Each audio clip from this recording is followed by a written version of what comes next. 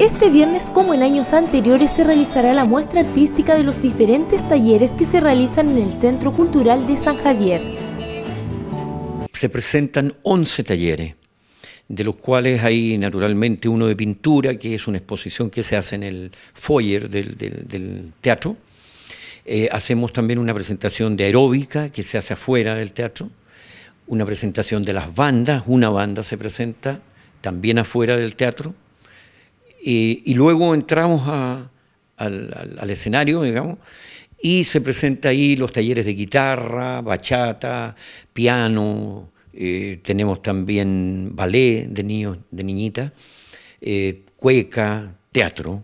Bueno, este taller significado primero que nada un compartir entre todas, un aprendizaje, eh, un lugar de acogida a, la vez, eh, yo creo que lo principal en este taller es que habemos personas, digamos, maduras y como se dan cuenta tenemos Lola, gente de nueva generación, nueva generación que vamos a tener ya para el próximo año. Nosotros partimos en marzo con alumnos que sin saber nada y ya tenemos fruto que el próximo viernes ya vamos a dar a luz nuestros primeros melodías en el teatro. Que tener la oportunidad de mostrarse artísticamente frente a otras personas es bueno, ya que uno nunca ve así al mirar cómo ve adentro, cómo es lo que quiere expresar con la música.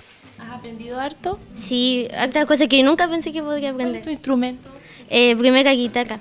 ¿Difícil o no? Eh, no, no tanto, ya que una vez que uno maneja más o menos algo de guitarra, uno sabe cómo manejarse en otro tipo de instrumento, como en primera guitarra. En esta instancia los alumnos podrán poner en práctica todo lo aprendido durante los talleres, talleres que son de enriquecimiento cultural y artístico para los alumnos. Esta actividad reunirá a muchas personas que asistirán a ver a sus amigos y familiares. En los 11 talleres repartimos 20 a 22 entradas a cada taller, lo que nos hace ya el total prácticamente del teatro. Sin embargo, fuera del teatro se realizarán las presentaciones de una banda musical y aeróbica, muestra artística que puede significar la motivación de muchos para tomar los diferentes cursos que hay a disposición.